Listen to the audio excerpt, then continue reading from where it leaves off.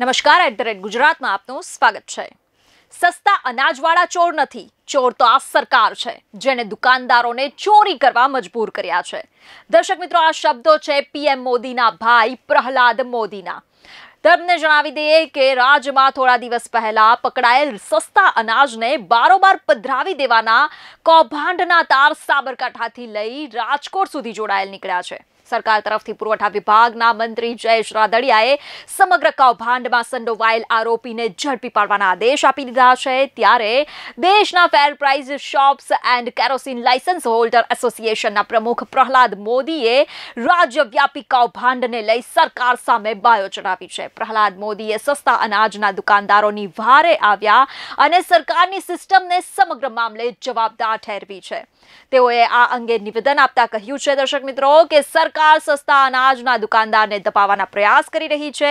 આ અંગે સરકાર પર સણસણતા પ્રહાર કરતા વધુમાં પીએમ મોદીના ભાઈ પ્રહલાદ મોદીએ કરેલ આક્ષેપો અંગે તમને જણાવીશું. પરંતુ એ પહેલા જો તમે અમારો આ વીડિયો યુટ્યુબ પર જોઈ રહ્યા હો, તો અમારી ચેનલ દિલોક સત્તાને સબસ્ક્રાઇબ કરો. બેલ બટન દબાવવાનું ભૂલતા નહીં. જો તમે અમારો આ વીડિયો ફેસબુક પર જોઈ રહ્યા હો, તો તેને લાઈક ફોલો અને શેર જરૂર કરો. દર્શક મિત્રો, ઢીંગલી નામથી ઓળખાતા સોફ્ટવેર દ્વારા રાજ્યવ્યાપી અનાજ કૌભાંડ થયું હોવાની આશંકાએ હાલ તંત્ર દ્વારા તપાસ કરવામાં આવી રહી છે. ત્યારે આ સમયે વડાપ્રધાન નરેન્દ્ર મોદીના ભાઈ અને fair price shops and kerosene licence holder એસોસિએશનના પ્રમુખ પ્રહલાદ મોદી આજે રાજકોટ પહોંચ્યા હતા અને રાશન વિક્રેતાઓએ તેમને પડતી મુશ્કેલીઓ બાબતે કલેક્ટરને રજૂઆત કરી હતી. એ દરમિયાન પ્રહલાદ મોદીએ સરકાર પર ગંભીર આક્ષેપો કરતા મીડિયાને જણાવ્યું કે સસ્તા અનાજવાળા ચોર નથી, ચોર સરકાર છે જેને દુકાનદારોને ચોરી કરવા મજબૂર કર્યા છે. પ્રહલાદ મોદીએ મીડિયા સાથેની વાતચીત કરતા વધુમાં જણાવ્યું કે રાજકોટમાં છેલ્લા કેટલાક સમયથી સરકાર દ્વારા રાશનિંગના વેપારીઓને ત્યાં તપાસ કરાવી ભય ફેલાવવાનો પ્રયાસ કરવામાં આવી રહ્યો છે. સાયબર ક્રાઇમે ઝડપેલ ફિંગરપ્રિન્ટ કૌભાંડ ખરેખર તપાસનો વિષય છે, પણ આમાં ન્યાયિક અને યોગ્ય તપાસ થવી જરૂરી છે. નિર્દોષ વેપારીઓને વિના કારણે દંડ ન થવો જોઈએ. પ્રહલાદ મોદીએ વધુમાં જણાવ્યું કે હાલ ગુજરાત રાજ્યમાં રાશનિંગના વેપારીઓને સૌથી ઓછું કમિશન મળે છે. આથી વેપારીઓને ના છૂટકે પોતાના કુટુંબનું અને બાળકોનું ભરણ પોષણ કરવા માટે થોડું ખોટું કરવું પડે છે. આમ સરકાર વેપારીઓનું શોષણ કરે છે. આ રીતે ખરેખર વેપારી ચોર નથી, પરંતુ સરકાર ચોર છે તેમ સરકાર સામે આક્ષેપો કરતા પીએમ મોદીના ભાઈ પ્રહલાદ મોદીએ જણાવ્યું હતું. સાથે જ વેપારીઓના કમિશનમાં વધારો કરવા અથવા તેઓને સરકારી કર્મચારી જાહેર કરીને માસિક પગાર આપવાની માંગ પણ કરી હતી. એટલું જ નહીં, દર્શક મિત્રો, વધુમાં તેઓએ કહ્યું હતું કે પુરવઠા તંત્રનું સર્વર પોલિયોગ્રસ્ત છે. આથી ગ્રાહકો અને દુકાનદારો વચ્ચે વારંવાર તંત્રના વાંકે સંઘર્ષની સ્થિતિ પેદા થાય છે.